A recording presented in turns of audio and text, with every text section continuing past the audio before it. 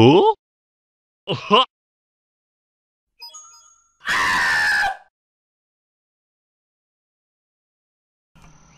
Hi. I'm back.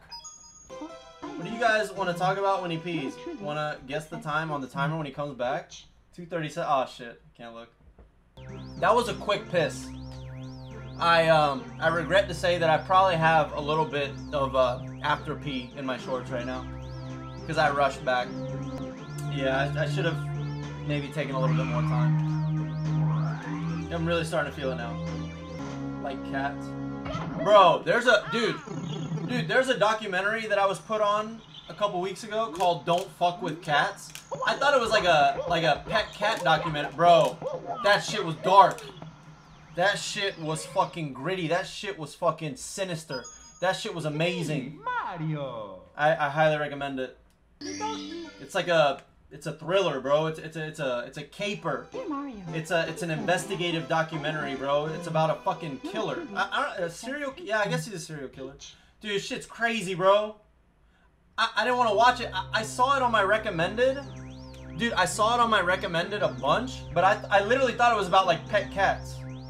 And like how you live with them and shit like that, and how they fuck you over if you mess with them. But dude, no, no, no, no, no. This shit is so dark, bro. It, it'll, it'll piss you off. It pissed me off. That shit's good. That shit had me. That shit had me fucking like minute five. That shit had me. I watched the whole thing. It's like I think it's like four episodes. They drag it out a little bit. Uh, it's it starts very fast and then it slows down, which I don't like. But there's enough substance there to keep you glued to the screen, bro. It, it's good. It's good. It's me, Mario. If you, if you like that kind of shit, it's that's all Netflix is now, right? Every every fucking Tinder bio you see, love chilling out to psychological thriller documentaries on Netflix. Love serial killer documentaries on Netflix. Uh, documentary binging currently Netflix. Crime capers on Netflix. All these bitches, they're all the same, bro. They're all the same. And it was exactly a Tinder bitch that put me on. Uh, I fell for it. I'm glad I fell for it though because it was so good to watch. It was so good to watch. Now, now I'm gonna put it in my Tinder bio. Now I'm gonna put that shit on my Tinder. Open up my networking capabilities. I'm so quirky. Dude, wait a minute. I'm talking about myself now. No, no, I didn't have that in my Tinder. Bro, I wish I could tell you guys my Tinder, but it's a small world, man. I wish I could tell you. Uh, it's a small world. The run has arrived. Thank you, VJ, for bringing the runs with you. Appreciate it. And I'm not talking about your diarrhea.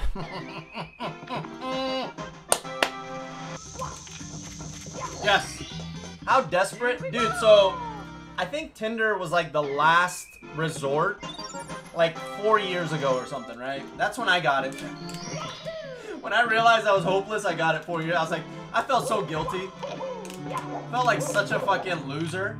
But now Tinder is like number one. Bro, if you want to find a date, that's prime. That's where you go. Tinder is like the priority. It's the best spot to find a date. Literally. Because there's so many people on there, bro. There, there's gonna be two or three people that like you. You're just gonna have to swipe for a couple years. Uh, I, I mean, go use your own experience. You gotta swipe for a couple days. You'll find the wrong. You'll find the right one. I met my GF through a mutual friend on Discord. That is not good, bro. That is not good. You should leave immediately. I, I know nothing about your life, dude. But you're. When you talk about relationships in Discord, I think twit longer. Bro, get out. Get out while you can, man. You will get fucking canceled. Get out. Get the fuck out. Don't talk to anybody. Do not involve yourself with anybody you know through the internet. Do not. Don't do it. Don't talk to anyone. Don't talk to any girl on the internet that knows about you and your Twitter handle and your Twitch. Don't do it, bro. They never end well. Every breakup turns into a twit longer. And then somebody is painted as like this absolute asshole because of a normal relationship.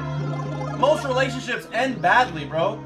Yet on Twitter, somebody has to get destroyed. Don't do it, bro. Don't you fucking do it. I am warning you. Don't do that. No matter what. There's a lot of girls in the world, dude. There's a lot of girls in real life. There's only like two on Twitch, right? Amouranth the Pokimane. Don't talk to them. Don't do it. The girls are out there, dude. Not not here. Not here. We're here to support our boys here, bro. Like that's what we do here.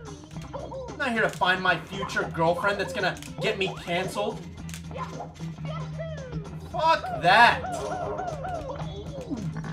Fuck out of here with that. Dude, that's a mistake. I'm telling you, it's a mistake. It's me, Mario.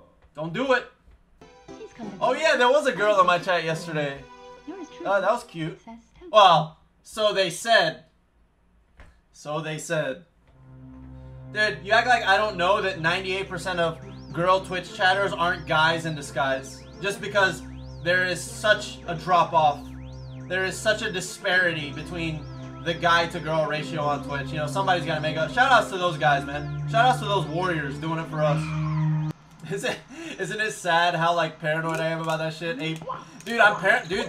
It's scary, man. It's scary because, I mean, it's none of my. First of all, looking at a twit longer, I don't do anymore. But you know when the cancel culture thing started, right?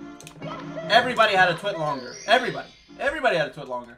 So obviously you're reading through them, and obviously some people did some extremely evil shit, and they deserve to be canceled, right? First and foremost. But dude, there were some twit longers that looked to me like just another relationship, and somebody was an asshole, or both of them were assholes. But you have to side with somebody, and one person got dragged through the mud, and I'm like, nah, no thank you, bro. No thank. I don't even read twit longers because it's none of my business.